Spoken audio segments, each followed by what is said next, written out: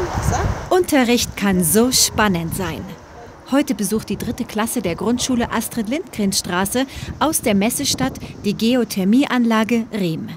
Diese, das erfahren die Kids als erstes, ging bereits 2004 in Betrieb und ist somit die erste SWM-Geothermieanlage in München.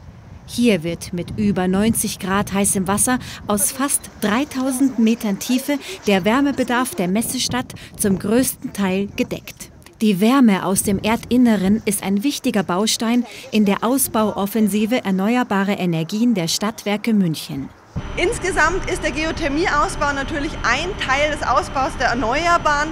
Der war schon immer sehr, sehr wichtig und jetzt natürlich aufgrund der Situation der steigenden Gaspreise wird es immer wichtiger, auch aufgrund der von uns natürlich gewünschten Energieunabhängigkeit.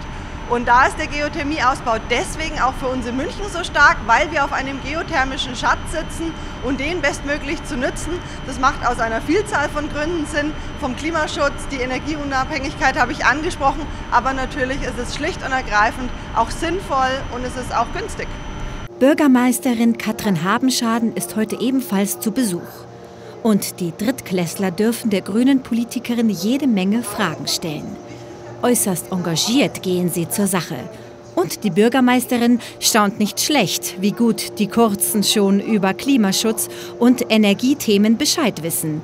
Und den Kids gefällt's. Gut, weil es ist sehr, sehr cool mit einer Bürgermeisterin zu sein.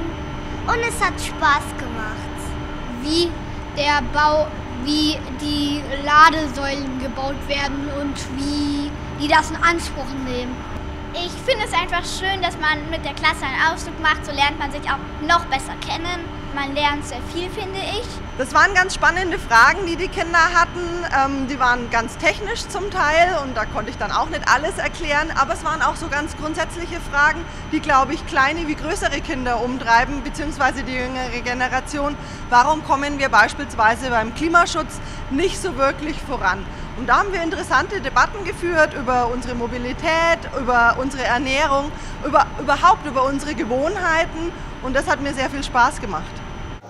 Eine Besichtigung der Geothermieanlage in Riem ist besonders für Schulklassen ab der dritten Jahrgangsstufe geeignet. Nach einer theoretischen Einführung erfolgt ein Rundgang durch die Anlage mit unterschiedlichen Haltepunkten. Man sieht unter anderem die Bohrungen, den Wärmetauscher, die Wasseraufbereitung und vieles mehr. Am Ende haben die Schülerinnen und Schüler gelernt, warum die Erdwärmenutzung absolut klimaschonend und nur ein sehr kleiner Eingriff ins Ökosystem ist.